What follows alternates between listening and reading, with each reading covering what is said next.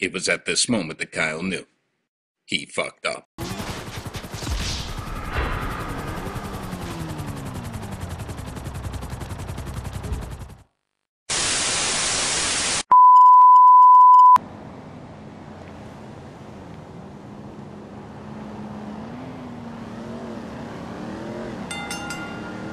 You are going down!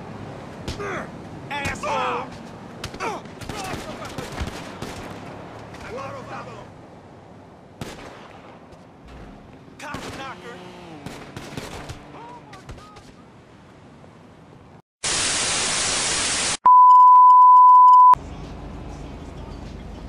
I'm a professional! He's over